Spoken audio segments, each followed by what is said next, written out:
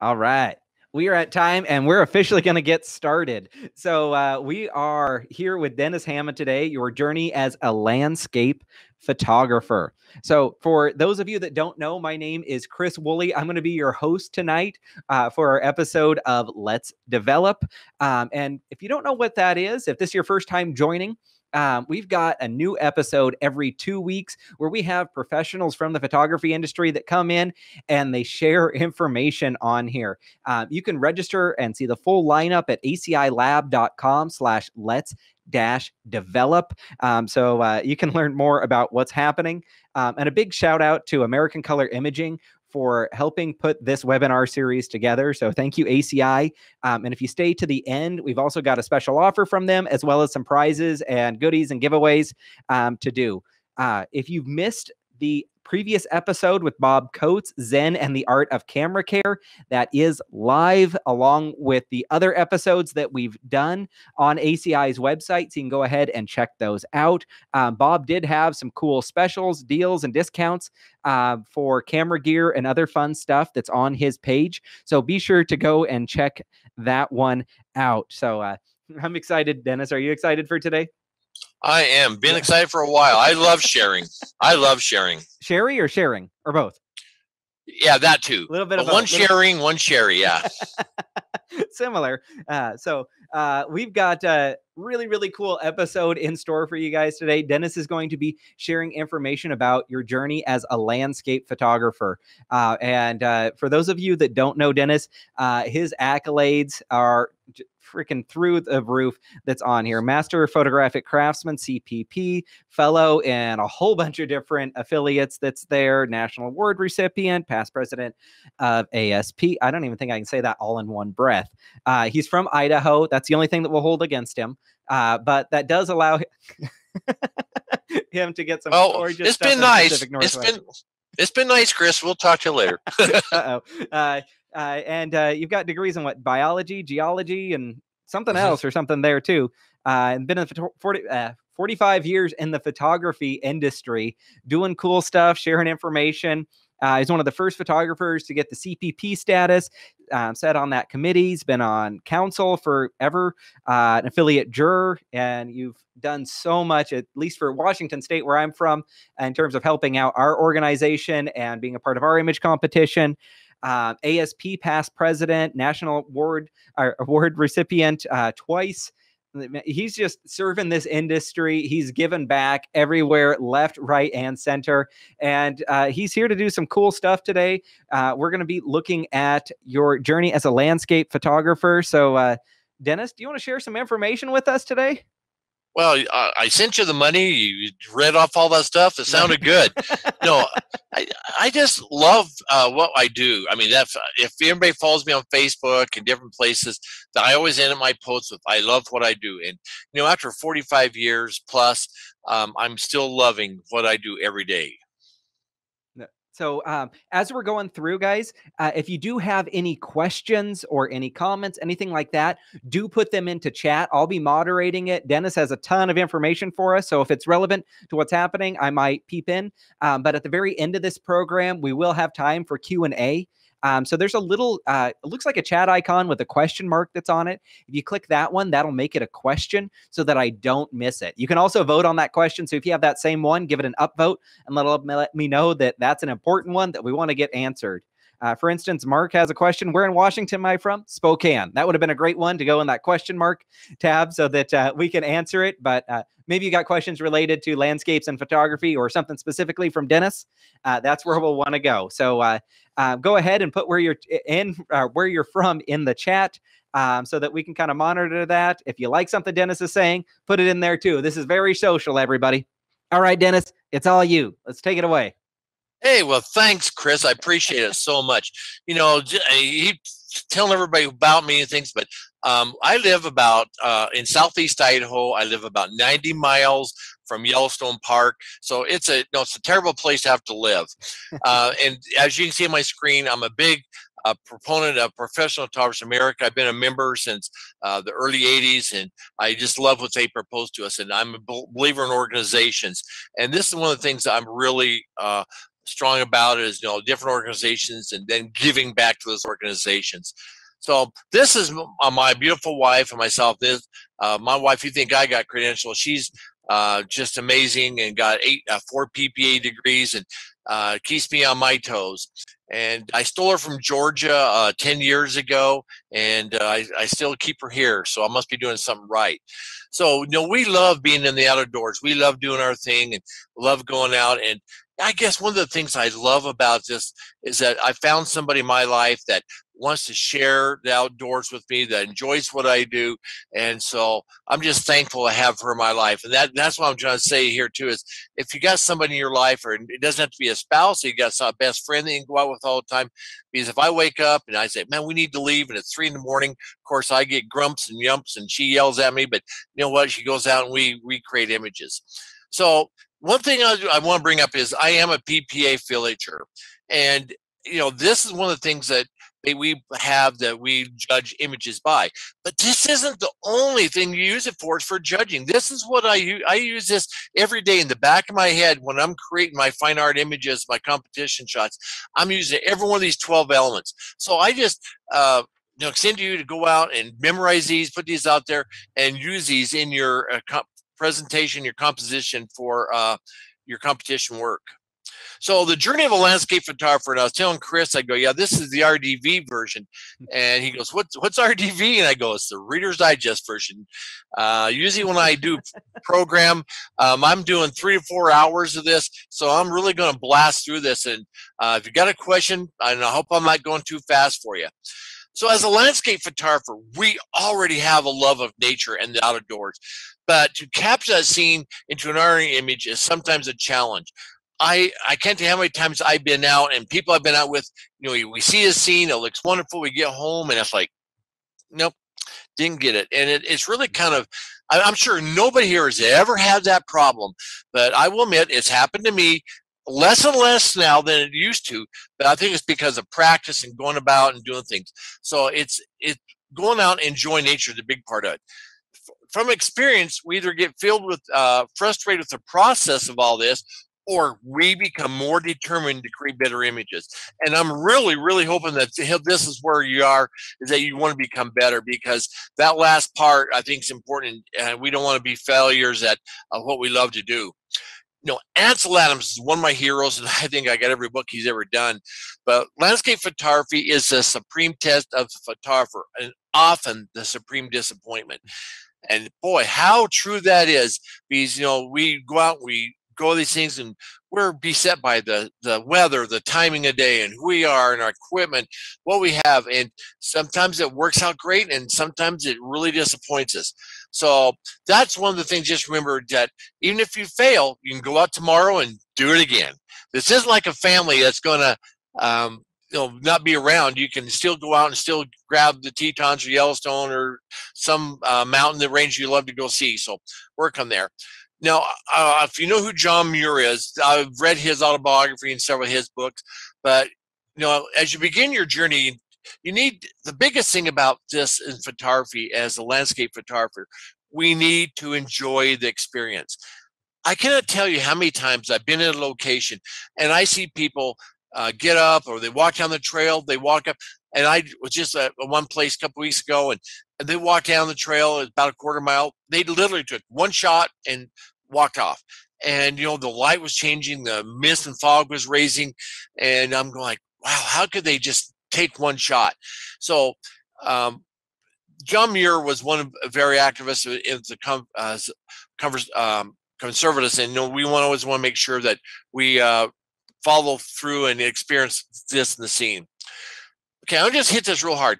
The use of a tripod uh, is going to create images. Now, my wife doesn't know I shared this one, but somebody posted this, saw this picture of her, and they go, well, damn, she's got her hat turned around. She's getting serious. Well, my wife is serious. She's an amazing photographer.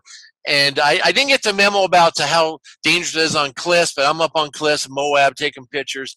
But, you know, we, probably 99% of my photography is taken with a tripod. And using a tripod does a couple things. And this is so important because it slows you down. Because you know you see people come up and they go and then they walk off. Well it's in there somewhere. Well a tripod slows you down. It helps you find your composition. It makes you think about what you're doing.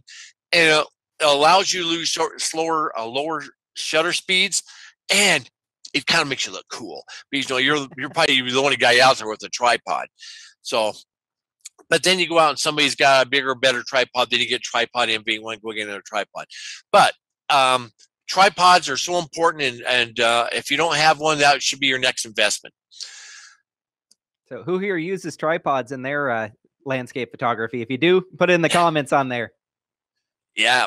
Well, no, don't go out with a monopod. That doesn't do as well as that. But uh, do tripods because you can do a slow shot. But that's one thing I love is my tripods. Ooh, and I use I use to use them here. Yeah, yeah, great. You know, I use Manfrotto tripods. I've been with Manfrotto for many, many years. And oh, so the other thing I do is I use a ball head, and I don't like the handles and things sticking out. I use a ball head so I can manipulate, move, and uh, move around real quick and change around. So that's what I like. That's my style, and you know you have to work. I don't like the pistol grips because they drift and some other things. So that's that's probably some of the most important equipment you can purchase for yourself there. Landscape photography is going to increase your understanding of light and exposure, and it's going to uh, benefit your photography immensely. Now, we as photographers, you know, we never think about lighting and sunrises and sunsets and golden hours. We look at contrast and shadows and highlights and uh, making your images better. I will bet every one of us out there, we're driving along. Oh, look at that beautiful light on the hill. Look at that beautiful light there. Oh man. And I'm I'm I'm I have st- had people say, "Oh, let's just keep driving." I stop and then I get the shot and they go, "Oh, that's pretty cool. Can I have a copy of it?" So, you know, we really, as photographers, it really uh, starts having us look at how we look at lighting about us and what happens there. So that's one thing that we really need to be cognizant of how things look around with the light, the shadows, and things go from there. So, you know, we look at landscape photography and it captures the essence of nature, but also can uh, focus on man-made features as well. And you know, actually, I was commissioned by some banks to get some local facilities, but this ended up being a 40-inch canvas uh, in a bank for uh, a local area. But it was you know just a local piece. I mean, let it go you know in PPA competition? Probably not. But you no, know, I'll take those green merits any day for those kind of things. Dollar bills. Yep. Oh, you bet. Those grants from Franklin's make me happy. oh, the best ones. Yes, they are. So, uh, fine art uh, landscape uh, generally uh, captures the essence of nature. Like I say, it can capture, you know, the, the man-mades we talked about, and um, you know the the scene in Italy that I captured. You know, this is one that I really like. I was up in the Tetons. It was a stormy morning, and I was photographing the Tetons, and this guy interrupted my shot. I go, well, I kind of like it. So it, it's just one of those shots. You got a little bit of the Tetons hanging in there and uh, just man-made things in there. Was there a comment there? Oh, okay. No, no, just the peanut gallery here. Oh, okay. Well, as landscape photographers, here's the thing: is we bear witness to what we've seen. We choose our subject to photograph and how we photograph them and how we photograph them says what we believe and think. And what people don't understand is that we bring the essence of our photographs. Every song and record we've heard every art piece and photograph we've heard you know people in conversations we bring the whole essence of those to our photographs we whether we know it or not. So our ability to photograph is the world made visible through the soul of our camera. You know you can believe all this stuff here and if whatever you want there but i believe that our cameras have souls and we interject our lives and feelings into that and that's so important for us to not just be have it just be a tool but part of our lives know, a lot of times, you know, the most common reason to photograph a landscape is to remember a personal observation while we're outdoors and traveling. You know, that is fine. But with that being said, if you're just doing casual landscape shooting of where you've been, please don't enter that in competition. Tell me that you're doing fine art work when you're doing travel pictures, because uh, that ain't going to fly usually. So not the uh, snapshots. Uh, no, I, there's no category for snapshots. Do you And, still um, take those for personal enjoyment, or is everything you do fine art? you know, I still do. And, you know, but it's interesting when you ask that, I still take them, but then I'm still interjecting that thing. Well, let me move this angle. Let me move over here. Let me, and it's like, man, I'm never pleased. But yes, I still have some, but I'm finding myself more and more trying to always create something that's fine art. So, you know, photographing, uh, you know, thing we talked about the tripods and things, but technical competence is not just enough. Everybody thinks, oh, I know all my camera, I know my f-stops, I know my shutter speeds. Well, that's wonderful, but uh, we need to depend on a couple of things. TLC. Now, it's not like the tender loving care that y'all think it is, but you know, first of all, is, is timing. We, as photographers, we talk about the timing of our photographs. Okay, here's the important thing I think: getting your butt out of bed and getting to the location on time, and they'll study the area and the weather, and most importantly, that decisive moment to click that shutter.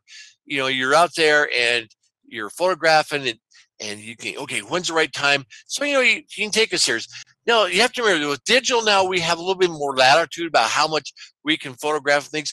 Back when I first started, every time you click that shutter, it was a buck. You know, to get a proof and negatives and proofs. And you had to think twice about how much shooting you down. Now, you know, I hear people say, Oh, I shot 10,000 images on this trip. I'm going, Holy smoly, I don't want to have to edit all them. So the timing thing is is get your butt out of bed and people who've been on my workshops and things if i say wheels down at 0530 0531 we're down and you walk out late we're done you're gone So in the So- chat, if you don't mind getting up early to get the shots, put there. If you do, if you absolutely hate it and rather wait for uh, sunset, uh, put that one in the chat. I'm curious what our audience thinks here.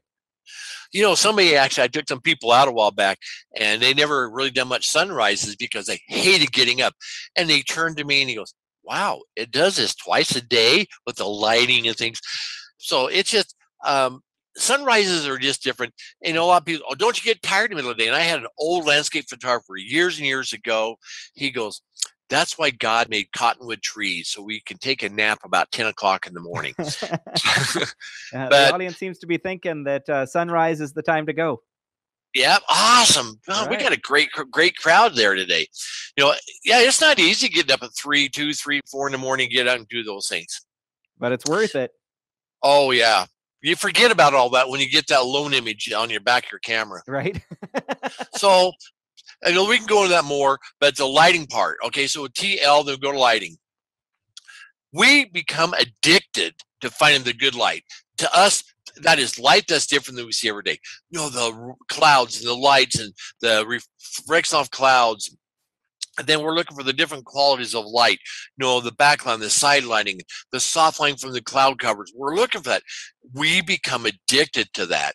And um, everybody sees it differently. Uh, so you know, if you're in a group of six photographers or five or six there, everybody's going to see things differently. So you have to do your own thing. But uh, we just need to look uh, and find that different quality of light, and that's what really makes the image better, in my humble opinion.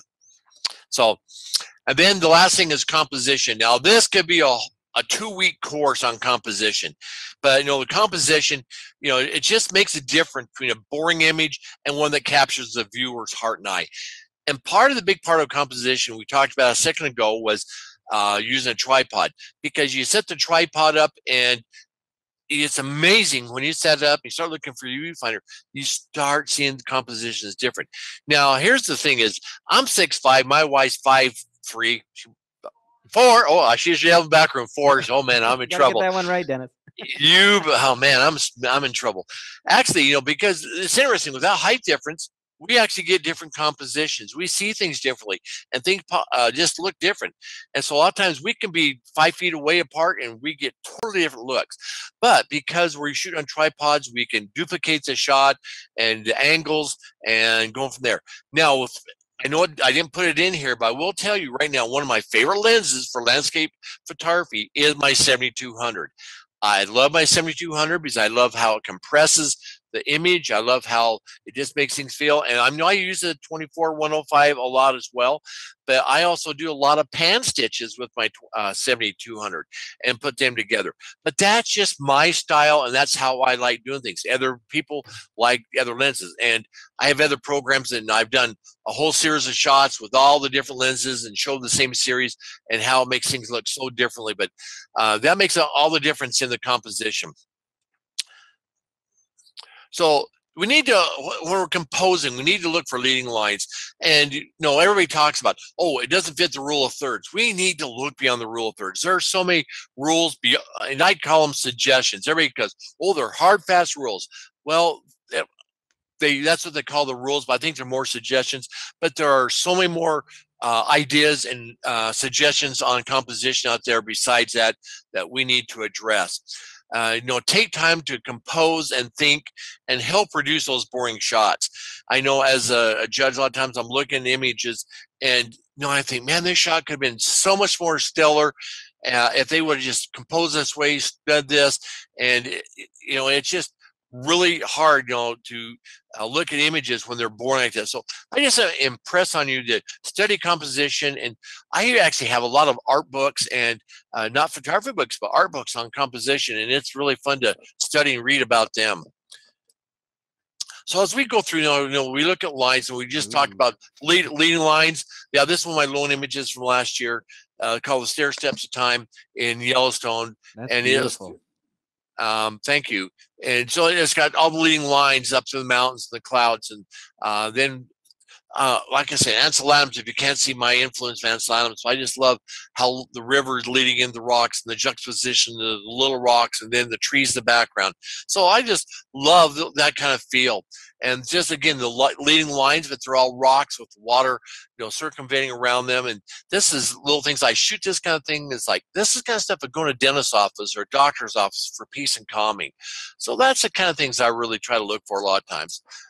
Um, and then as artists, we just need to develop an infallible technique, then put yourself at the mercy of inspiration, meaning that we need to have a system, a way, and uh, everybody, they kind of bounce over place. They, here's the thing they go to one workshop they do that and the next week they all want to do that workshop style. Then they go to another workshop then they try to change all their style. Then they go they read another book and they change.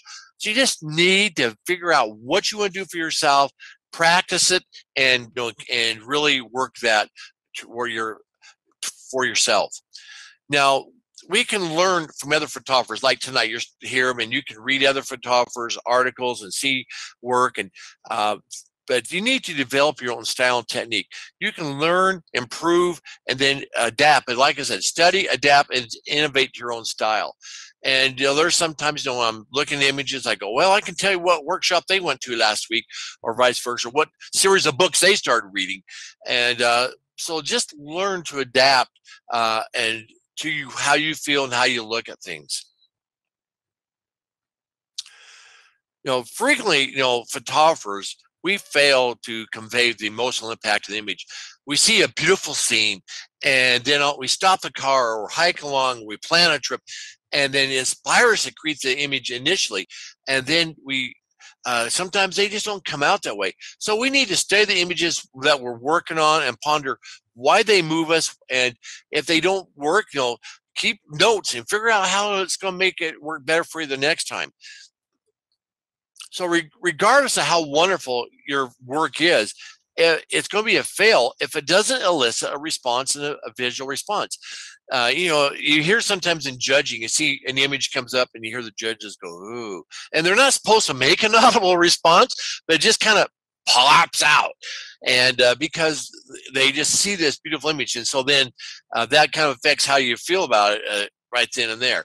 But, you know, so capturing the response and how you feel about an image. You know, this is one I did in uh, Yellowstone. This is actually on film several years ago. Uh, so people say, "Oh, you manipulated that Photoshop." Nope. I just had a red pull purple uh, Cokin filter in front of it, and that's one shot, nothing stacked, and that is um, what I captured there. Because I saw that scene, and I immediately I knew what I wanted to do. Um, for example, I was in Italy, and I got up. Oh, in the oh dark 30 walked up around the hill as uh, in raining and got there just as the storm was breaking up and this was a three pan stitch because i had a pre-visualized what i wanted this to be and what i wanted to do uh, again you know, driving along and i saw this image um, and i had to stop and capture it and i will admit the only thing i did if you can see that i took out a, a, a metal fence post that was in the picture so it'd be more pristine. But it was interesting. Some of the judges, when it came to competition, um, thought I desaturated the snow and things. And I'm going, no, you don't understand. When clouds come into the high country, this is what it looks like, and low there. And this went loan and is actually hanging in my house. I just think this is a beautiful scene, and uh, that's it's called Change of Seasons. Uh, with the image and so i just love you know capturing and find those kind of scenes that are different than no everybody else is getting and there again, uh, I've driven past this scene several times, and this particular day, um, I was actually with my family and my grandson, and we I was kind of talking to him about photography. And then all of a sudden, this little geyser in the background started going off, and the steam was rising up. And I go, okay, here's a different look with the kind of encroachment of the steam and killing that little tree and everything going on. So uh, to me, it had a, a big visual response on that and this is one uh, area I love to go to. Uh, it's called the Wedding Tree in the Tetons. And unfortunately, just a couple weeks ago, Sherry and I are up there, and lightning had hit this tree right here and broke it off. So now we have the, but now we document this tree. We've captured um, with without it being broken off. But you, it frames the tree up nice with a view of the valley and going on from there. And you know, I was uh, photographing a scene. I was in Indiana teaching at uh, Winona, and I turned around from a scene in the early morning, and there's this shot was coming through, and I was able to grab it, and it's called Fallen Comrade. But uh, I just the instant I saw this scene, uh, I turned my camera, what I do quite frequently, to help me understand what my thought process was, I just turned my uh, to black and white on back of my cameras. I shoot raw and JPEG. My JPEG come out black and white, and that way when I come back, I knew what I wanted to do because if I'm editing a couple weeks later, I come back, okay, why is that? Oh, now I know why that's black and white. I'm, that was my vision. So a lot of times when I'm shooting, I would just com- convert the first shot into black and white so I can just keep reminding myself what that image, my vision was at that very second. And uh, another image, you know, I just love the lines and the design of this. That uh, it did one competition, but just a carved. It's carved by weather and uh, stone, um, weather and water, and so it's just one of those scenes that most people wouldn't take. But I just love the graphic feel of a lot of these images. So many image makers use their photographs to validate their experience. What should be the other way around that the experiences should validate their visionary images, like some of those I just showed you, and I told you some of the experiences there. You know, I in the it was taken one of my Colorado workshops, and we were out photographing, and the morning sky and things going in the background. Um, this is one I did a couple years ago that did very well in competition, but I was teaching a workshop in Yosemite for California photographers, and I had seen it. I went back and got it, and it, it has a very orient, oriental feel to it. And the second I did this, I knew I had to do it in black and white. And it's interesting, again, judges didn't understand why all this misty feel was up here. They didn't understand the water was just spraying. And um, it was just an overcast, rainy rain. I, I was in pouring rain when I did this. So this is one of those shots that I feel has a very emotional feel to the image as well. And I have a, a metal print of this hanging in my house. Oh, by ACI, and so I love this image. How are we doing, Chris? Any questions? Uh, we do, yep, but they're uh, ones that are more about the process, so we'll we'll get to them at the end. Okay, great. Another waterfall, and this is Yellowstone. Um, this was Moose Moose Falls, and unfortunately, there's places you can't get to this anymore because people have come in and destroyed some of the trails and things. So now they've got it blocked off because of people being inconsiderate to nature and what's going on. And but again, when I photographed this several years ago, um, I knew immediately it's going to have to be black and white. So uh, if you can't tell, a lot of my work is black and white. I love what I do. Uh, many years, all my my whole cases have been black and white, and uh, and this is a lot of the presentation. I love the fine art, just uh, one simple line, mat around there, and that's generally how I enter them, just like that. Uh, very simple. Um, again, another storm catching the emotion in Yellowstone with the storm breaking and across the valley there, uh, the, all the steam pots, the fog. And I love going up when it's cold and misty and uh, the inclement weather because it just shows a whole different uh, ambience. I mean, most most tourists when they travel, they see the scene between 10 uh, and 4 to 5 in the daytime. That's what they see. And that's I, I, did a program for PPA. I call it more than a postcard because I understand that people travel and that's when they see the scene, but this is stuff that people don't see and it, it generates emotion and feeling in it. Okay, one of the biggest challenges we have as landscape artists is to go beyond the documentation of the scene and to try and, uh, and to communicate on a visionary level. And, you know, this is a scene I just did uh, a year ago up in uh, Prismatic Springs.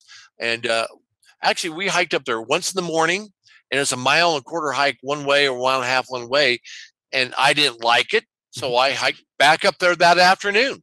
I did another hike up, and people laughed at me because I had a monopod. I hiked up to the overlook on this. It used to be you had to scramble through trees and bushes. Now they got this beautiful.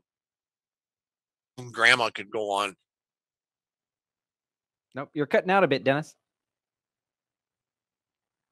Nope, I can't. We can't hear you at all. Can you try unplugging and replugging back in headset? Oh. Oh, there we go. I think I can hear you now. Okay, can you hear me now? There we are. Yep, we're back in. Verizon commercial. Yep, right. So I, so I saw the graphics of this piece, and uh, I mean, I got on top of the rail. I had my monopod, and I was pushing up so I could get up another six, eight feet, try to get this visionary. But I just love the graphics and the feel of this image.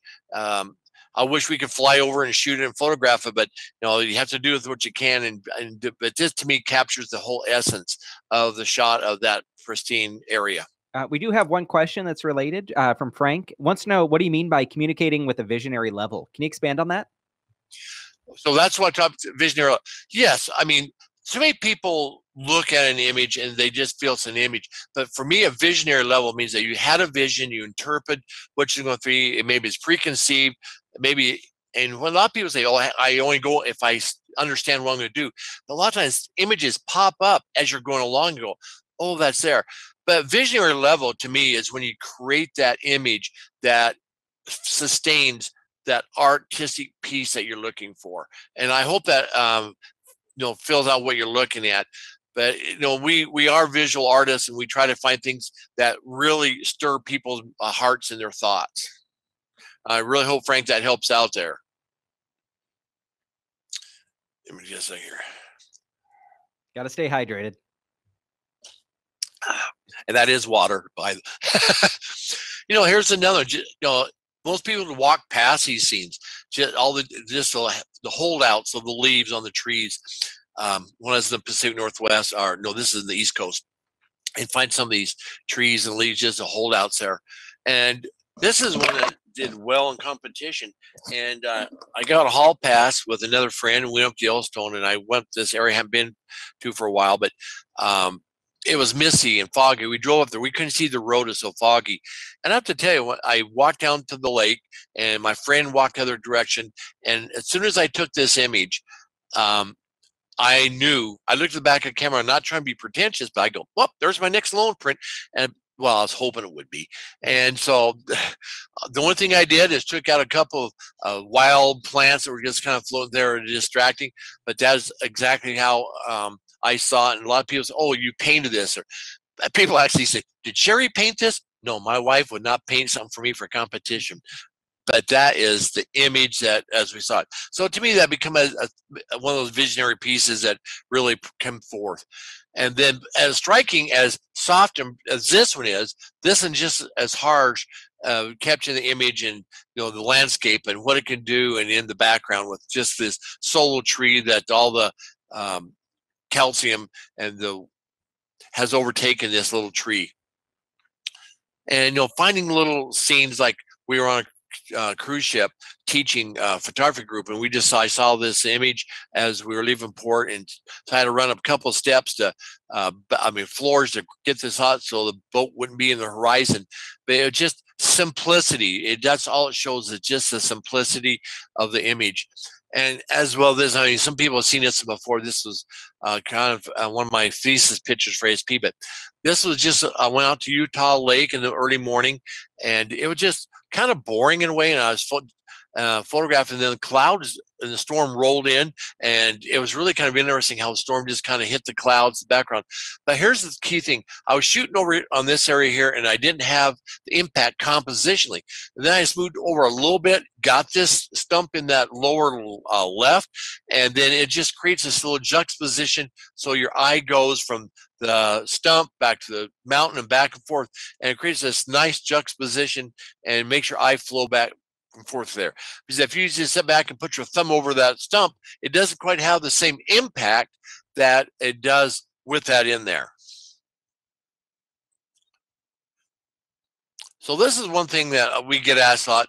You know, people call us up because we're so close to 90 miles from Tetons, 90 miles from Yellowstone, and and some of the iconic places in Utah. But people say, um, where's all this out? I want to go photograph the barns. I want to go photograph this. You know, it's nice to have those art pieces in your portfolio, like, you know, Schwabacher's Landing. Everybody wants to go photograph this. It's a beautiful place.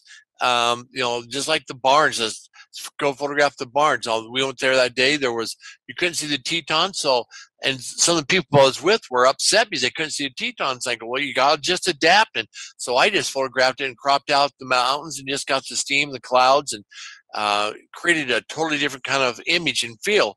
And um, it just those those iconic images are nice, but then you start going in and you find other scenes and images when you're going through and you see as you're walking through parks and um, you, you see different images that um, as you walk along the riverbanks and you know then staying out late and capturing uh, the Milky Way and doing things like that. You know, it's, it's, all these little things that are so different.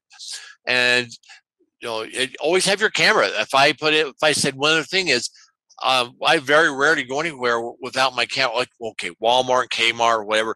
That's not. But on any trips or drives or anything, it's in the back of my camera, a bag, uh, back of my car. And because of that, I was able to capture this shot. Uh, we were driving back from Salt Lake and come over a hill, and there it was. And um, so I, so here's the problem. Like with Sherry and I, both of us want to see things. We have to yell dibs, see who gets the shot. So uh, if we see a shot, dibs, dibs, dibs, and it's kind of fun. So you know, this is another one. As I was driving in back, we were back in the south, and we I just love these old uh, trees, and I love the lines of the roads going in there, and that little light spot in the very far back um, that just kind of leads your eye right into it. So you know, look for things different than what everybody else is doing.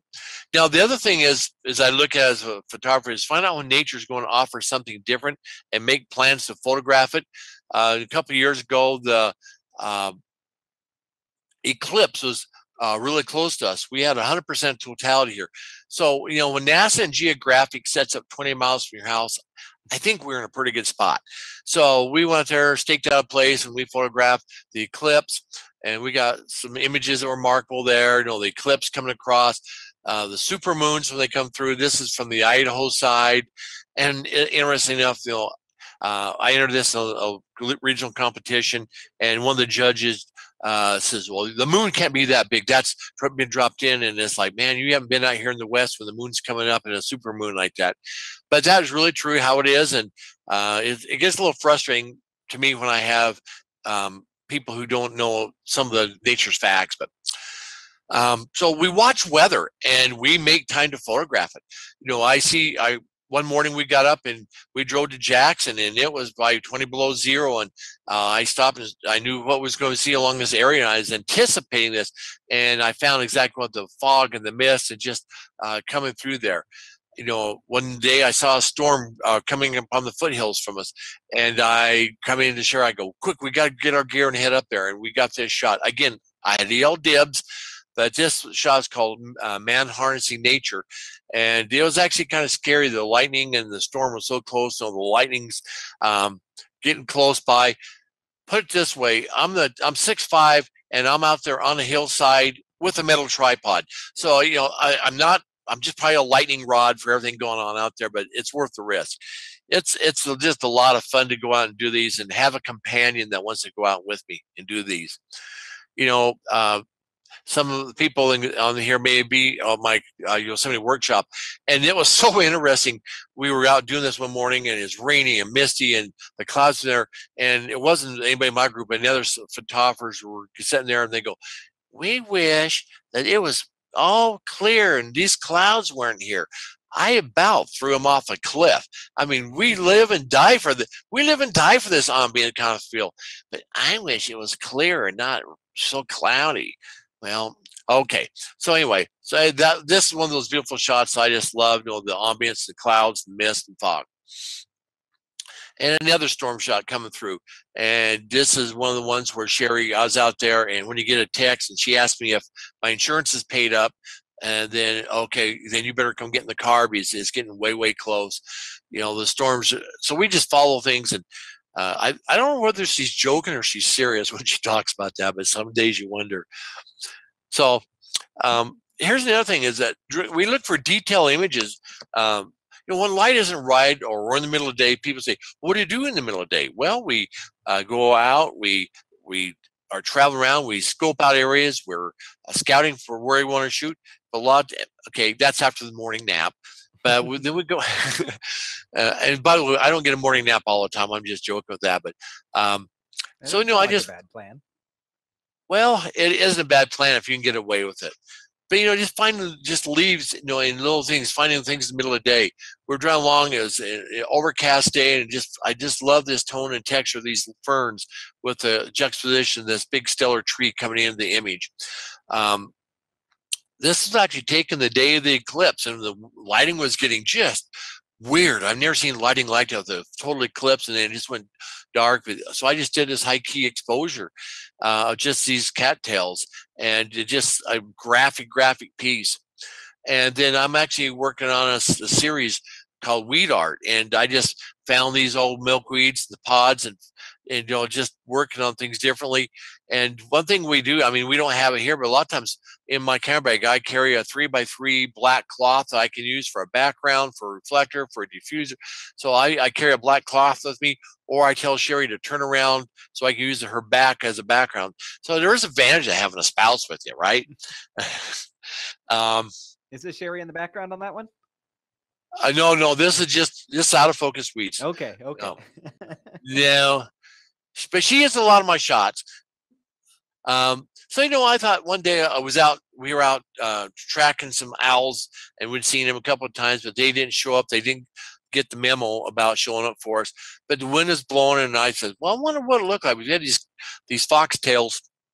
So I said, "Well, if you get the blurry action with water, why can't I do it with weeds and grass and things like that?" So I just put my my neutral density filter on and got shot, and I just really enjoy the soft feel of the uh, grass blowing, and that was shot on a tripod and just got to exposure a couple of different times to get the different field of weeds and grass. So I'm always experimenting, trying different things all the time. So, we got any questions we need to address real quick? I know we're running out of time. Uh, we are coming up towards the end. If you do have questions, put them in the chat. Um, and here in the next couple of minutes, we'll we'll switch over to the the Q and A section. Okay. Um, so just tell me, Just tell me, Chris. i am hurrying. I'm track. we do All have right. a comment from uh, Stu. You got a new nickname, Lightning Rod Hammon. uh, I'll take that. Um, create depth in your landscape with layers, depth of field, and those strong points of interest. So, no, creating depth with the images, the trees, the colors. Well, sorry, back, and then you know depth with all the mountains, the fog, and the mist. And so, you know, we're creating depth and feel with the images there, and then the depth with image proportion with the trees and the tetons and things in the background. So we're creating depth and feel, you know, the layered look of the with the trail and uh, the roads and the sky.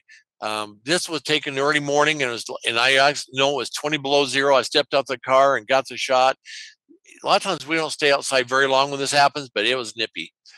Again, another shot depth with the clouds and the feeling and going on. So I, love showing the depth and proportion there and seeing how we create depth with everything you know more depth with the images with uh, clouds uh, and the mountains and the little mesas there how uh, they really show depth and proportion there I, I, seem to have a little a theme going on here i have a lot of cloud shots but i just think they uh, love that we want to create a human element in our images you know we have we have you know straw bales and an old tractor in the background. This is one of my favorite shots we did in one of our workshops. Is an old fence that was leading up into the the Quakenhas, and another shot down the river and the falls. We're about a mile from here, but the storm was rolling in, and Sherry called and told me, "Let's get it, get over there." A fun shot with one with uh, I got in Germany with uh, just a little of the little buggies going through the steam uh, in the morning fog. So the other thing we really look for is simplicity. I think photographers put too much in their images. Well, that's how they saw it. that's how they want to be. Well, let's maybe take some of that out. And um, we want to be able to find simplicity. This was actually vines outside my house. I walked out one morning and there it was. That's not Photoshop. That's strictly um, the vines going up. And people say, "Oh, you photoshopped it." Um, I have you talk about my biology degree. I was a lichenologist, and and I was doing some research on lichens, and uh, this was some image. I just love the designs and tones and textures of these lichens, and finding just a simple leaf and putting um, a friend's purse back behind it for a background because of the contrasting color and finding a, de- a, design in a log and the yes the leaf was there it was a different direction i just turned it around and adjusted it. Is that legal? You know take it what it was but uh, my friends were there laughing at me they tell me they didn't see it but they didn't think it was funny till it merited. And you know find any other shots you know um, i was photographing the lake at jackson and i turned around this was sitting in the bushes and uh, I just love uh, th- this image as well. And there up my Ansel Adams field comes out as well as does that when you see the lines, the texture, and the tones. And then I'm just kind of finish up here with, you know, design that we look for designs and finding the textures and lines and textures in the in the nature, and you know the fresh snow on the mountains, you know, stopping uh, and just looking down people look down, look behind you, but this will walk on trail and just a bunch of mud that had in a trail that had curled up and dried out and just creating this beautiful, really graphic piece. And then finding some more image imagery in some um, the prismatic springs up in Yellowstone and creating stuff like this. So I'm gonna just tell you, warning, warning, warning. It felt like Will Smith, the little the little robot. You know, you know, pursuing this genre it's going to do a couple of things. First of all, you're going to be in a better place in aspect of your work. It's going to push you. You're going to appreciate nature more and want to share. And you're going to find that your stress is reduced because you're out there enjoying nature. And it, I just find when I get out there, it's like, ah, okay, I'm done. I don't want to go home now. now, warning. Things, yeah, yeah. But warning, you're probably going to lose a few friends because you're now that crazy guy or person who drives in the middle of the night to get to that sunrise, or you stay out late for that sunset. Uh, or you miss dinner because, oh, wait a minute, sunset's coming and that golden hour is coming. And you're going to be come back with great memories and images to make them jealous. So, you know, that's warning, warning. So, Okay, throw the questions at me, but make them easy. Make them make them easy though. right, we've got some questions, and uh, first one up: What filters do you use? This one's from Paul. Well, I uh, I have a polarizing filter for some things, but you know anymore with uh, besides pan stitch a lot of things. Do not pan stitch with any uh, neutral density filters or polarizing filters; they will screw things up. So the only filter I use a lot of times is my uh, variable neutral density filter, especially for water and wavy shots and things like that. And everything I'm doing now, I'm gonna be honest, has been post production, and I use Nik with uh, Color Efex for to get to that. Okay. And then Stu wants to know what method of converting a color image to black and white? What's your method? Uh, again, Nik Silver Efex. This is one of my favorite. I used to be on the Nik team, and that I've been on, stayed there, and I think it's one of the premium products out there. But again, it's find what works for you, and there's other ones out there, but that's one I like. That's what works for me, and so that's what I stay with. Cool. And then last question that we have right here: What constitutes the designation of fine art photography? Uh, they've seen many photographers that call their work fine art, but it doesn't compare to the other works I've seen that are not labeled as fine art. That's a question from Michael. Well, you know, everybody can call it is what it is. Um, fine, you know, everybody's everybody goes find out photography by Susie or find out photography by Chris, but you know, just because you call it that, don't mean it is. I think fine art is one of those things that is going to pass the uh, a couple of tests for me. It's going to be passing the test. Will last the test of time. Is it marketable? Is it sellable? And you know, is it something that um, that people are going to have be emotionally moved by? Just because you say it is, don't mean it is so. So you know, it's fine art it's uh, you know that's really one of those subjects that can go on for hours i can talk about but if it but if it passes that longevity test that's a big thing for me okay we do have a couple more questions that came in uh, from jamie is that 70 to 200 you're using a 2.8 or is it the f4 yes uh, i have this uh, 2.8 sherry has the f4 because um, the size for her but no it works for both of us and but i'm still shooting at for my pan stitches, eight and 11, uh, probably on there. And that's why I'm on a tripod. That way I can get my shutter speed down and get down low enough. And then you just have to adapt with the weather, if the wind trees are blowing or whatever. But, um, but yeah, that works for me. So either's okay then. Okay. Uh, from Jillian, uh, what was the name of the filter? I think they were talking about your ND filter. Uh, it's just a variable ND 10 stop neutral density filter, Var- variable neutral density filter. Okay. Uh, also, and from- don't buy and do, okay, just say don't buy the cheap ones. Mine's about two hundred fifty dollars because you start getting cheap ones. Oh, there's one for twenty nine dollars. Well, yeah, it's going to make things kind of off color. It's going to put some vignettes on the corners and things. So spend the extra money and it'll last for a while. I like to get them with uh, step down rings too, so you can use them on other lenses. Yeah, I got some step down ring for Sherry 7200 F4 um, is a different size, but we got a different one. See, now here's a caveat. There's two of us shooting, so I have to buy two of everything. uh, got another question from Jillian. Uh, do you use layers to enhance your images? I do, and uh, that's a whole nother like a whole nother class. Class, you guys we keep asking. Eight hour version for you. Yeah, yeah, I do, and uh, so I do use layers and um, blend things in differently, and um, I. But you know, honestly, when I work on an image, um, 20, 30 minutes on an image is about all I work on for comp or for a client. Wow. Uh, do you use an incident meter? And this is from Howard.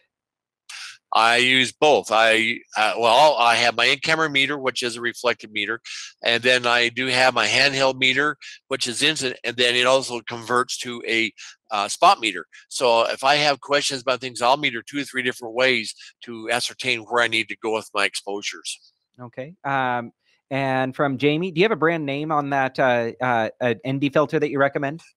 Uh, Tiffen is a good one to go by. I mean, I like Tiffen. There's a lot of ones out there. So uh, I'd like to say start stay away from the the cheaper versions of things, but that's where I would go. Okay, and then from Joanne, uh, what camera are you using? I'm I'm still using the 5D Mark III. 5D you know, I'm not one of those. I'm one of those guys that just because everybody's got all these new fangled cameras out there doesn't mean they're going to be the best. And you know what? Still working great for me, and you know what? It's paid for. right? That's amazing and definitely a, a, huge thing. It allows you to go on more trips if you don't have to buy more gear, huh? Yep. Okay, so I've got some uh, prizes and stuff to give away. So uh, uh, this is coming up from uh, ACI. So thank you for um, our prizes. And they do have a uh, special that's out there. And this is just for people that are watching it live. Um, you can get uh, 25% off uh, the Ravelli albums. Uh, you do have to use the code that's now in your chat. Um, so if you look on there, a little present looking thing, it's got a special code. I'm also emailing it to you too. If you've registered for this webinar, so you can get 25% off, which is amazing. Uh, and uh, thank you, ACI, for uh, for doing that special that's on there. So make sure that you pay attention to that one. Um, and just a heads up too of our upcoming lineup. Uh, we've got some awesome things coming up. Up next is going to be Ella Carlson on creativity. Uh, we've got Brian Welsh on the in on are on in and through so marketing sales and giving back i'm going to be doing a special one on price lists and how to price your work uh, Erica Lane Harvey. Uh, we got Shannon Squires, Tony Harriman. Lots of cool stuff coming up. I'm also going to put on that side part um, link so that you can register for these as well. They just went live for registration today. Um, so be sure that you're checking those ones out. Um, and now we can get to our uh, prize giveaway, which is kind of fun. So um, up first, uh, we've got uh, an ACI Rocks mug. And uh, now I get to bring up the, the fun screen so that uh, uh, we can do our prizes. I got to get here so I can actually interact with it. Isn't this fun? Uh, so let's see who our mug winner is. Spin, spin, spin, spin, spin. And it is John Powers that won the mug. Uh, John, make sure that you reach out so we can get your address um, so that we can get that uh, mug to you. Um, up next, we've got an ACI t shirt. Um, so the winner of the t shirt is.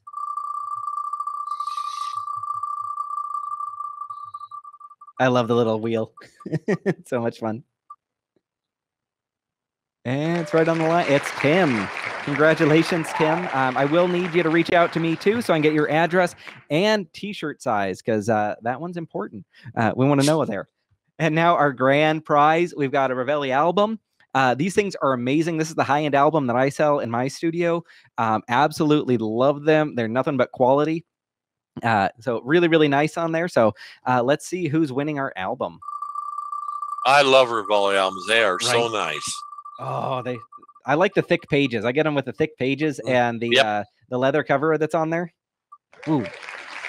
And we've got Maria. Awesome. That's a long name. I got to write it down. Uh, please reach out to me so I can make sure that you get that, so that you can get uh, um, your album that's coming through. Um, so uh, we are just about at the end of our program. Um, so do want to say if you do have any ideas for speakers that you'd love to see, content that you want covered, things that are going to be helpful for you, please reach out to me. Um, hello at cwooley.com, and I will track down amazing photographers in our industry so that we can all connect and learn and grow from each other. So, uh, uh, email address is on there, or if you're getting emails, just hit reply on there so that uh, we can all talk together. Whew. Okay, that was quite the uh, the lineup that we have here. Uh, we got all sorts of fans from the crowd. So, uh, curious on the chat, what was your favorite thing that you learned today from Dennis?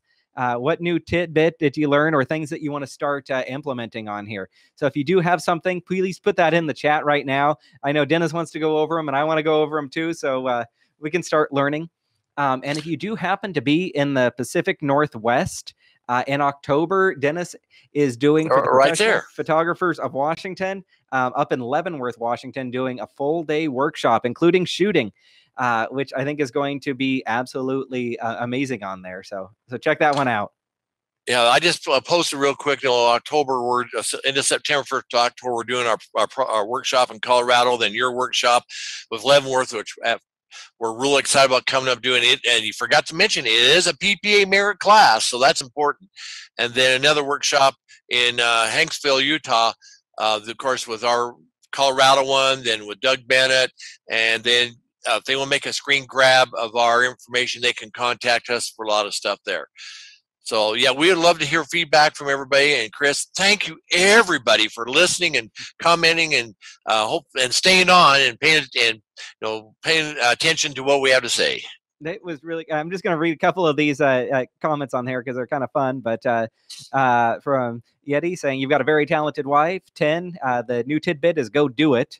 Uh, Jillian, don't take my husband to do real photography. uh, Rob, black and white use in, in landscapes. Uh, Jamie, study the shots. Uh, let's see, Cassandra, uh, don't just go for the iconic photo, look for something different. Uh, ben, learn that I'm on the right track, working to find out how I can get that feel that's coming through on there. Christine's going to bring a black cloth. Uh, Chris is going to see you in Leavenworth, so he'll learn more from you. awesome. Uh, so uh, lots of great things coming through. So thank you so much, everybody. That's an official wrap for our episode with Dennis. If you've learned it, write down his contact information. I'll also put it in the follow up email that's coming to you later tonight. And uh, next week, this will be live, so uh, you can go and watch it again because you got a lot of information in there, Dennis. Thank you. Try, like I said, RDV. Reader's Digest version. That's a new one for me. All right. Good night, everybody. Good night. Thank you.